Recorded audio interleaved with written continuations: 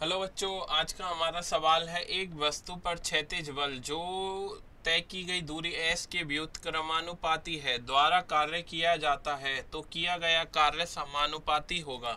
चार ऑप्शन हमें दिए गए हैं। अब देखिए, हमें पता है कार्य W बराबर क्या होता है? एफ़ डी एस होता है। ठीक है?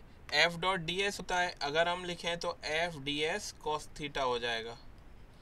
अब हम अगर माने कि जो हमारा विस्थापन है, वो बल की दिशा में ही हो रहा है तो थीटा बराबर ज़ीरो मान सकते हैं।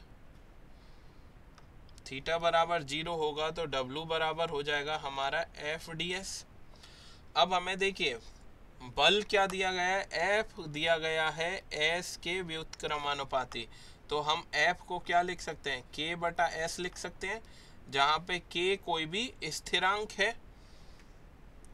तो हमारा W वर्क बराबर हो जाएगा K बटा डी एस ठीक है?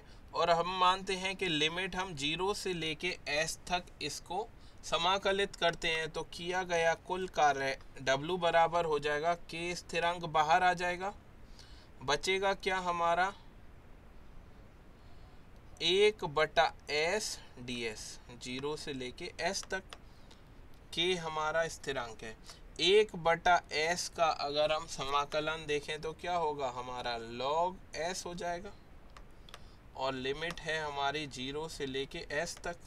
तो डब्लू बराबर हो गया के L N of S minus L N of zero ठीक है लॉग ज़ीरो का मान ज़ीरो ही होता है।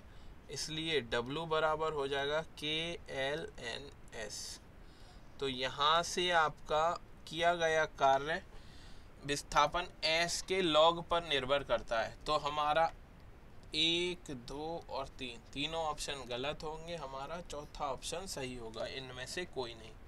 आशा है आपको सोल्यूशन पसंद आया होगा। धन्यवाद।